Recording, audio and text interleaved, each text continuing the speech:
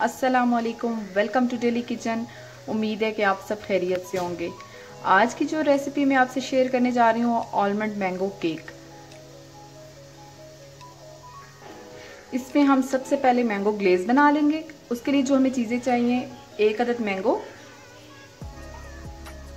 और half cup sugar. इसकी मदद से हम मैंगो ग्लेज बनाएँगे। चलिए स्टार्ट करते हैं। सबसे पहले एक मैंगो ले लेंगे, इसे चॉप कर लेंगे।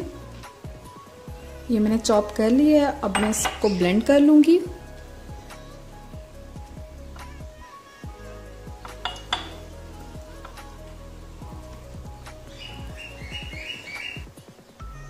अब ये ब्लेंड हो चुका है। इसके साथ हमें चाहिए होगी हाफ़ कप चीनी।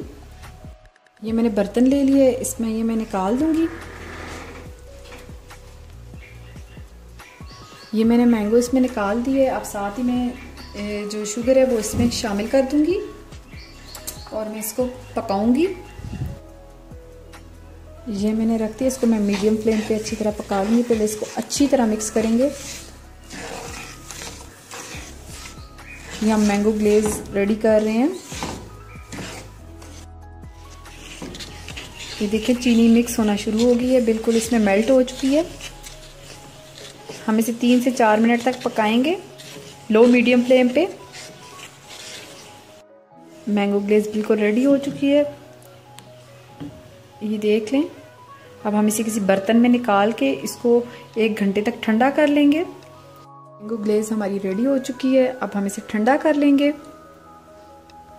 मैंने केक बनाने के लिए बर्तन लिया और उस ऑयल को ग्रीस कर लिया है। ये मैंने सारी तरफ़, इसमें मैं थोड़ा सा मैदा डालूँगी। इसको सारी तरफ़ डस्ट कर लूँगी। बर्तन हमारा रेडी हो चुका है।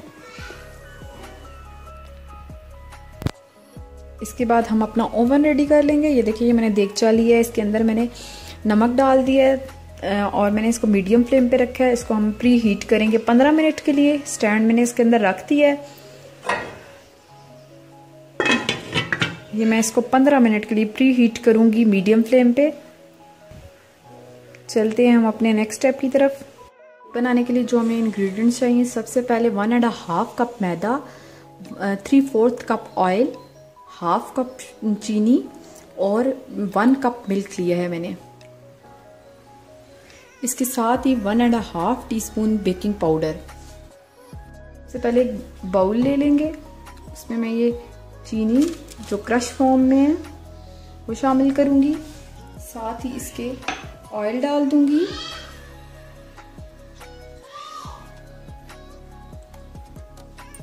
इसमें ये जो मैंने आपको दूध बताया था, वो शामिल करेंगे और इसको अच्छी तरह मिक्स करेंगे। इसको हम अच्छी तरह मिक्स कर लेंगे। अब मैं इसमें ये मैदा डाल दूँगी।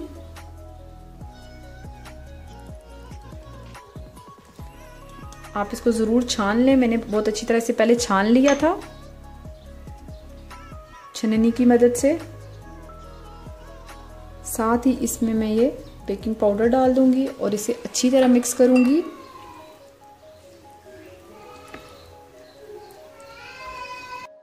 ये मैंने अच्छी तरह मिक्स कर लिया। अब इसमें मैं जो ये मैंने मैंगो ग्लेज बनाया था, थोड़ा सा वो शामिल कर दूँगी। ताकि इसमें मैंगो का टेस्ट आ जाए। ये थ्री टेबल स्पून मैंने इसमें शामिल कर दिए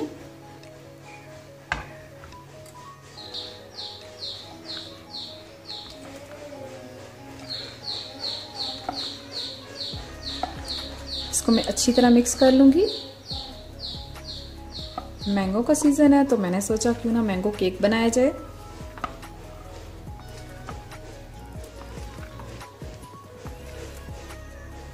ये अच्छी तरह मिक्स हो गया है। अब हम इसे इसके बाउल में शिफ्ट कर देंगे। ये देखें, अब मैं इसमें इसको शिफ्ट कर रही हूँ।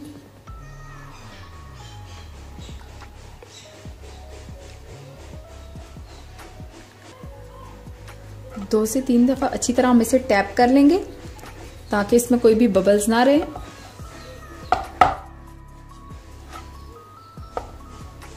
ओवन हमारा गर्म हो चुका है।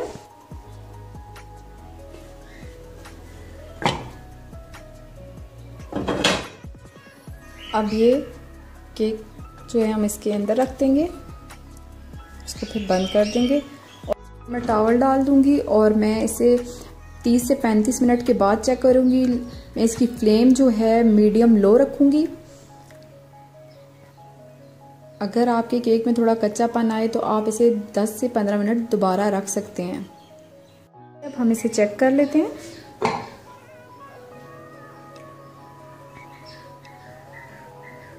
ये देखें। नाइफ बिल्कुल साफ़ है। इसका मतलब है कि ये बिल्कुल रेडी हो चुका है। मैं साइड से भी चेक कर लेती हूँ। अब हम इसे निकाल लेंगे। मैं इसे निकाल लूँगी। अब हम इसे पाँच से छः मिनट ठंडा होने देंगे और फिर किसी बर्तन में निकाल लेंगे। अब हम इसको निकाल लेंगे।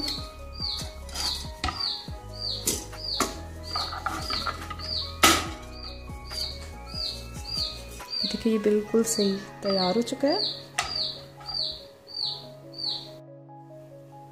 ग्लेज लगाने के लिए अब मैं ऊपर ये जो लेयर है, ये मैं इसकी, इसके से काट दूँगी ताकि ये बिल्कुल सीधा हो और ग्लेज बिल्कुल ठीक लगे।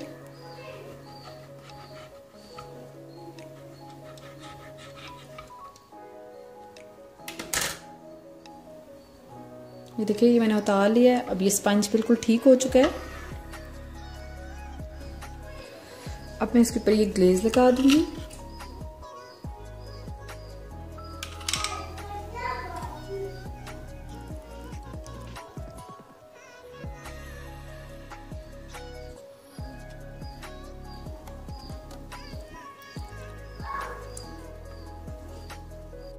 ये ग्लेज मैंने लगा दिया अब ग्लेज के बाद मैं इसको डेकोरेट करूँगी। 10 से 15 मिनट पहले मैं इसे फ्रिज में रखूँगी, फिर उसके बाद इसको मैं डेकोरेट करूँगी। केक बिल्कुल रेडी है। अब हम इसके ऊपर डेकोरेट करने के लिए मैंने ये कुछ चॉकलेट रखी है और साथ में ऑलमंड रखा है। ये देखें, इसकी मदद से मैं इसको डेकोरेट करूँगी।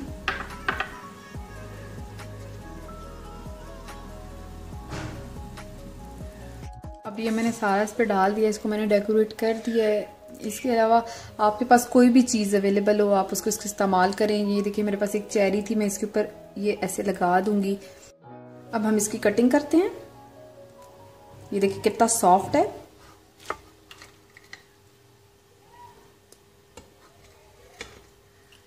मैं आपको बताती हूँ। ये देखें जी, ये कितना अच्छा बना है।